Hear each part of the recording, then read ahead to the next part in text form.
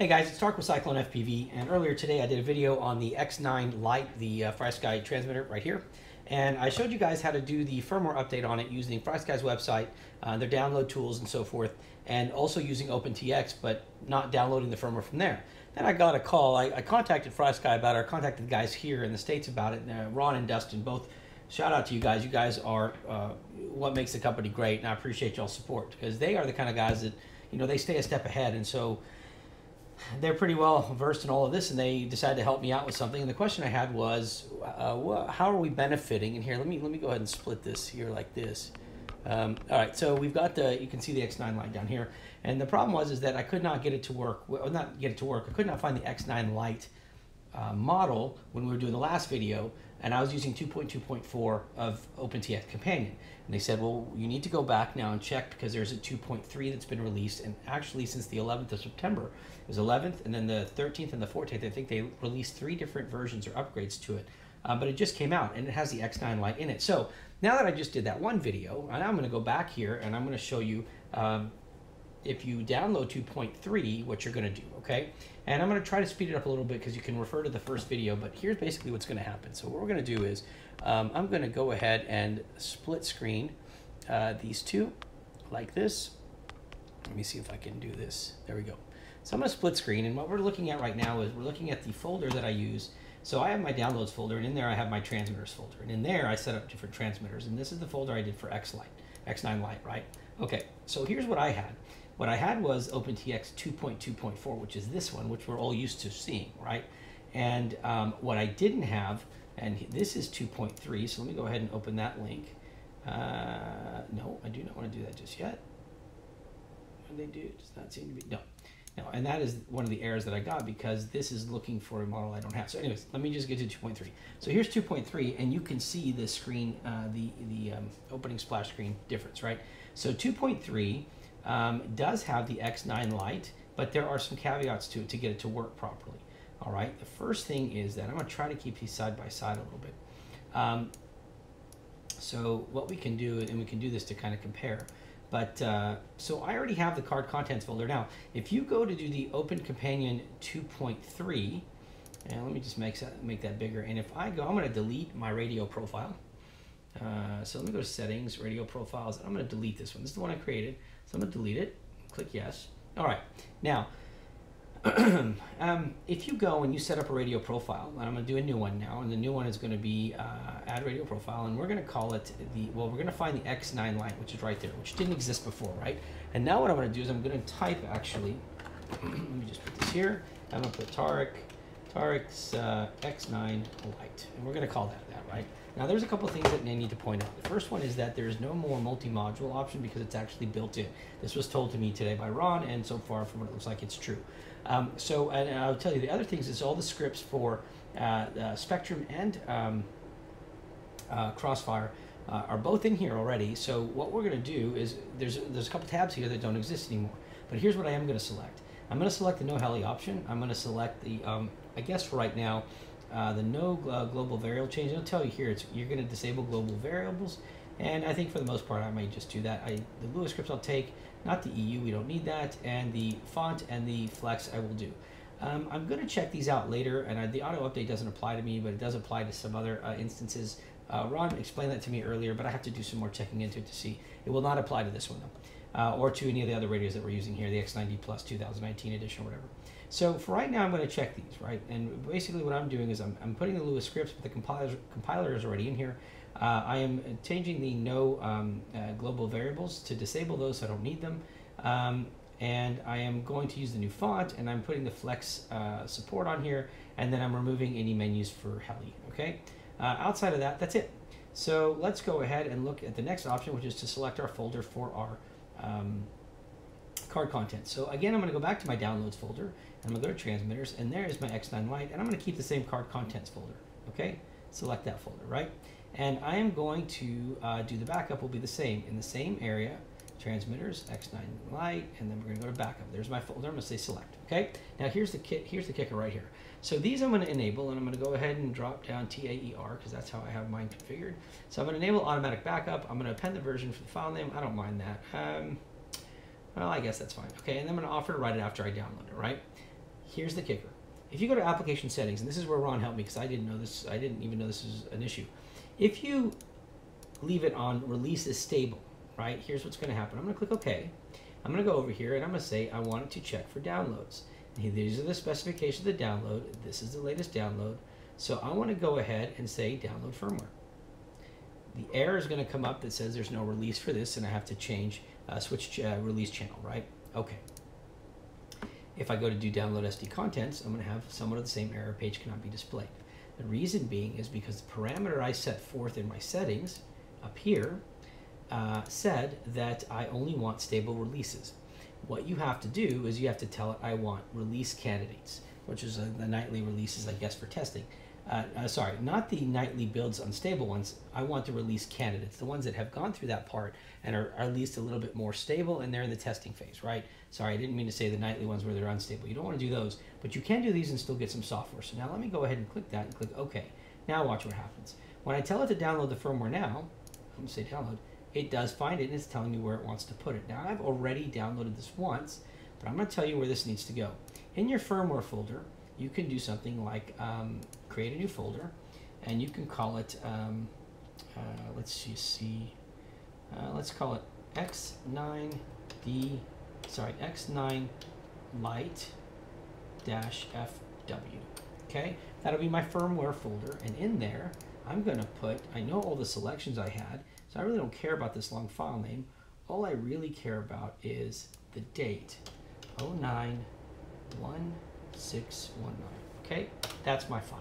So I'm going to download that and I'm going to put it, oh wait, I didn't even turn my radio. So let me go ahead and get into my radio here in DFU. Okay, let's do that. Let's go ahead and plug in our USB.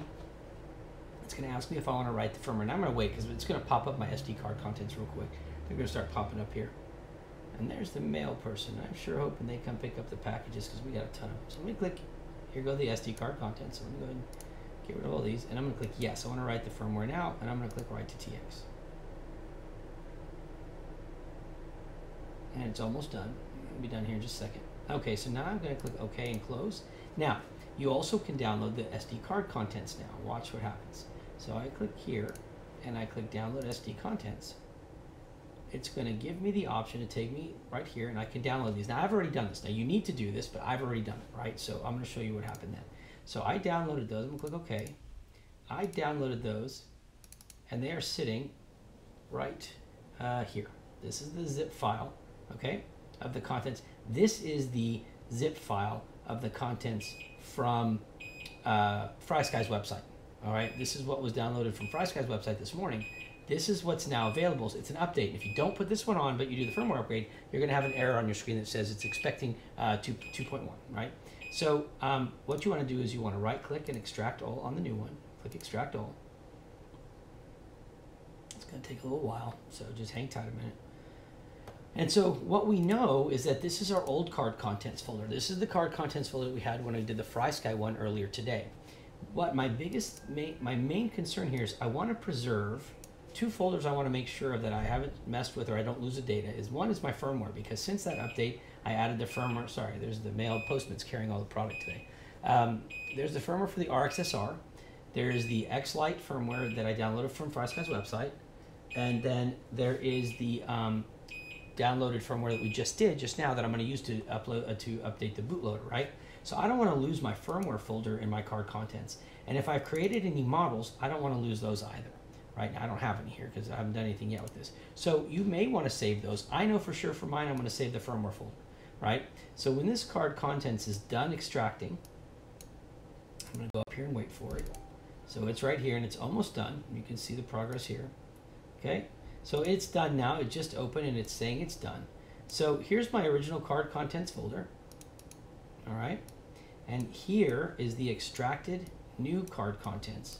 If I can move this screen over, and this is the one now, it's going to be like 138, uh, eight, uh, uh, yeah, 138 megs. So if I go to properties, I can verify it's 138 megs. Okay, so all I care about right now is I want to open this up and I want to take all the contents except I'm going to hold the control key on my keyboard and the firmware, click the check mark. I'll take everything else and move it over. Unless you have models, you may want to save models or script, whatever it is that you've added, save those if you want. Otherwise, take it and move it over and you can drop it in the card contents folder right here. And it's going to copy, it's going to prompt you because it's going to end up having to overwrite some of these files. So we want to replace them. All right, so let it replace real quick.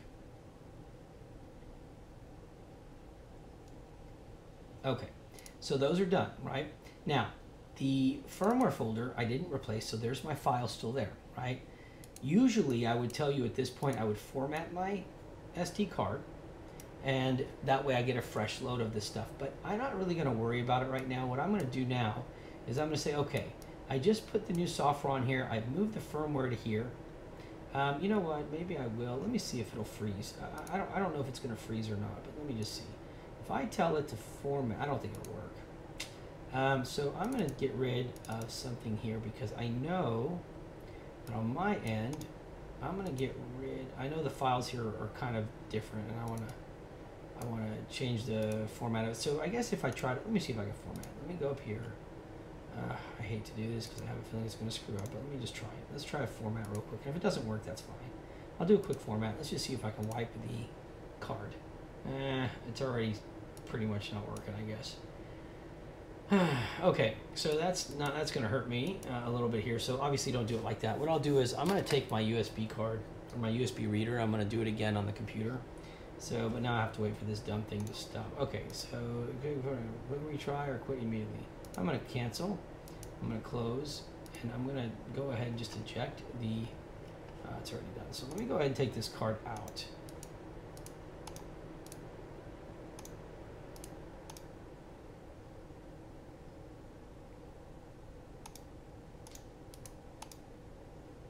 There we go. All right, so I'm going to go ahead and take the card out real quick because that is um, so watch what I'm gonna do here. I'm gonna take the card, the SD card. I'm just gonna put it in this USB reader right here.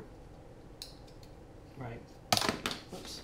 I'm gonna pop that in the computer instead and make it easier on myself. Okay. So let me go ahead and do that real quick. Okay. Let's do that. I'm gonna go ahead and format the disk now. Click start. Click OK. And make sure that we're done. Eject. Okay. Again. Okay.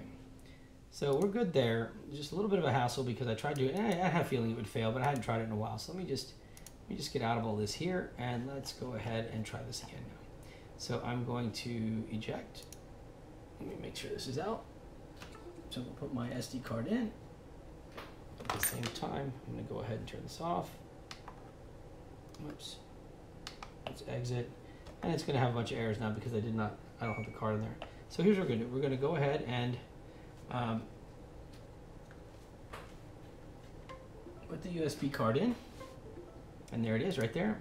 And we'll go ahead and format it real quick. And the only reason I'm doing that is because I, I like to make sure I always start off with a clean, fresh setup, okay?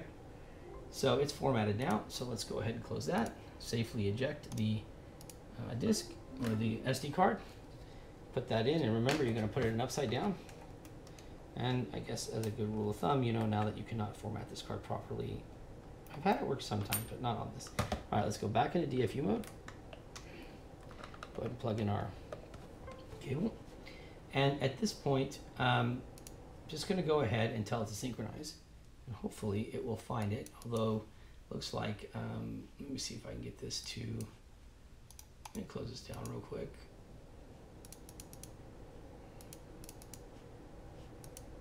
Okay.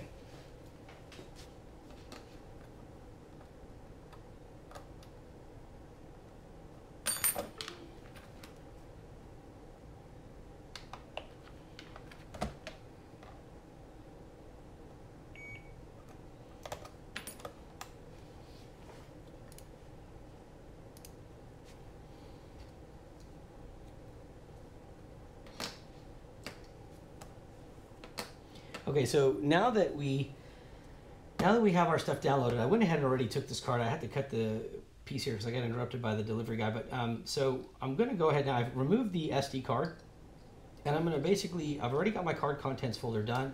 I'm now going to put this back in my computer and format it. And that again, that's just a preference to me. I don't like to just update it. I'm going to go ahead and format it, and that's like I said, it's just what I'm uh, doing here. So I'm going to right click on it, and I'm going to click format. I've already cleared it once, but I'm doing it so you guys can see it. So let me click start. Click OK.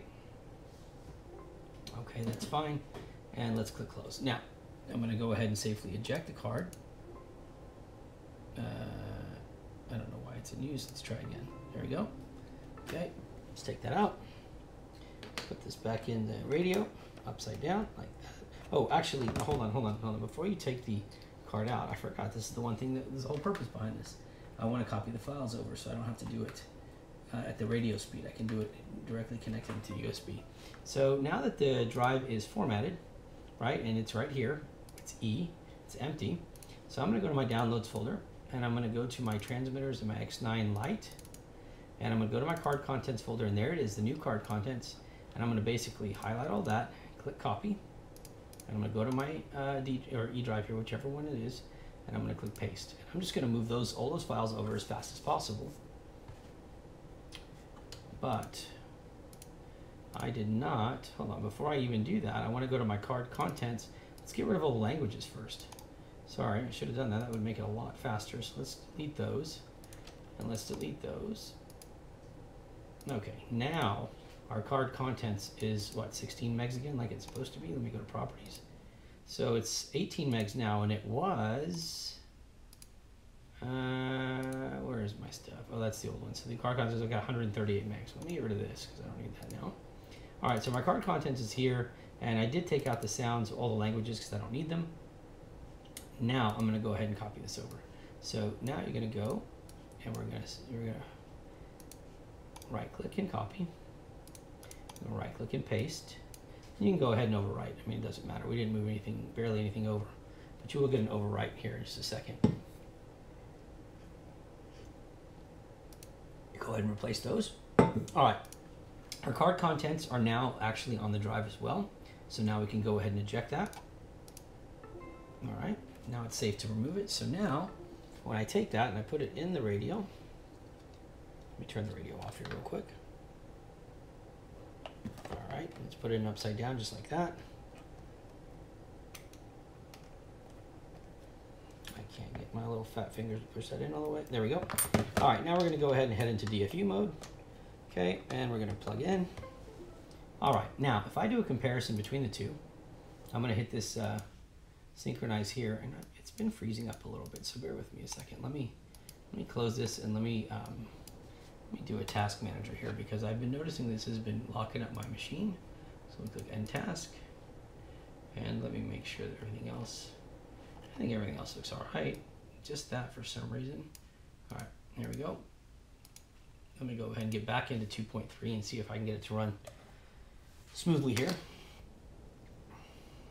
Okay, so now that we're back in, now I'm going to make sure I'm in the right model. So let me go to my radio profiles, X9 Lite, that is, and I'm going to go ahead and synchronize and it is going to synchronize both but I'm going to say um, uh, copy only if newer and I'm going to say I want to go uh, from the source file. Now they've changed it. it used to say from radio to transmit or whatever. So um, I'm going to go to the destination folder first which means I'm going to take what's local and send it up there. So I'm going to click start. And honestly there really shouldn't be anything because I've already I already just copied it all over but we're going to let it run anyway. Okay. It won't take very long.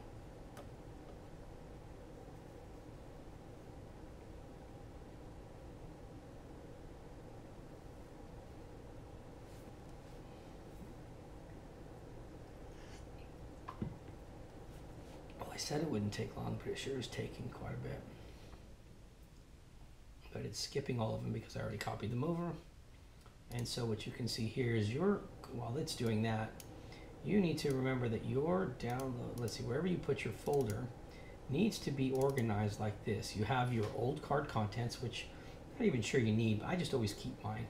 Uh, you have the new folder, firmware that I downloaded for um, uh, the radio from uh, FrSky's website. And then in my con card contents, there's all my stuff uh, broken down properly. Uh, and that's what's actually being compared right now. And so far, uh, it has created some. So let me just see what it's creating.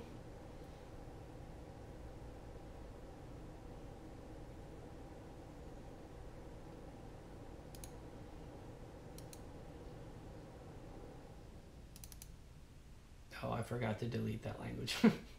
of course, check is there.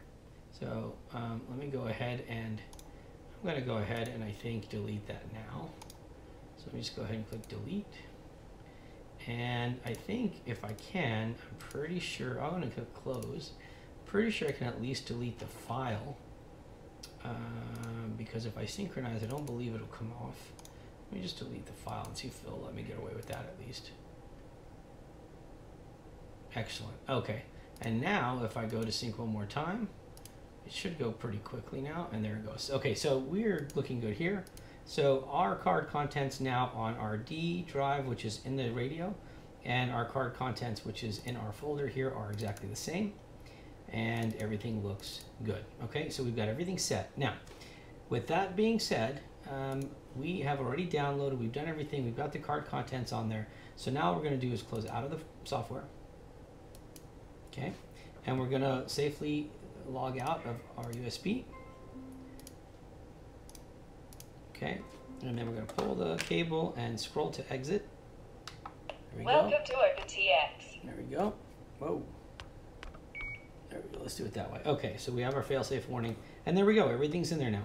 So if you now go to menu, click page, and you go to firmware, and you if you if it didn't work before, if you hadn't done it before, uh, then you would click here and you would go right here, hold that down and click flash bootloader and it's going to automatically, but we already did this, but I'm just showing you exactly where everything's at on here. So now if you go to menu, you hold down your button and you just click page and you start going around, you'll start seeing there's your tools feature now.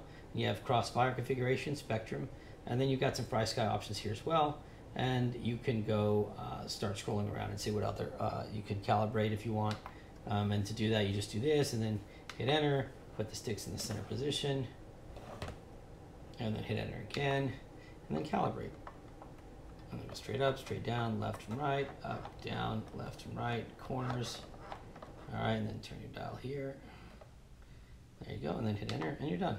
Okay, so that pretty much gets you now to be able to use a radio, uh, and that, that should pretty much do it. So that's the, the difference from what we did earlier today. And I'm sorry, I know it's, it's kind of long-winded and stuff, but the uh, the support for um, um, stable builds that are not going to be like uh, testing are coming. All right, so they maybe maybe as soon as tomorrow when it's available. Uh, but for right now, you can either do it the way the first video did, where you have like you do 2.2.4 and you download from FrSky's website, or you can upgrade your OpenTX companion, and that's what I want to show you. Sorry, let me show you that real quick. So if you want to do that, um, open the web, and here's where I downloaded mine. So I went to opentx.org. And then I scroll down here, whoops, sorry, go to opentx.org and then scroll down um, until you see uh, right here, OpenTX 2.3.0 uh, release candidate. And you see right there, it's, it was done on the 14th, this on the 13th, this on the 11th. All these are fairly new. When you click that, scroll down, you can read all the stuff. It's actually pretty good reading. Then you click this right here and it's gonna automatically start your download. Run that one. Uh, I've already done this, so I'm gonna cancel this. But what you can do is you can actually keep 2.2.4 and 2.3 up. So you, it doesn't delete the other program and you end up with something like this. So I hope guys that this helps you. Um, this is how you set this one up.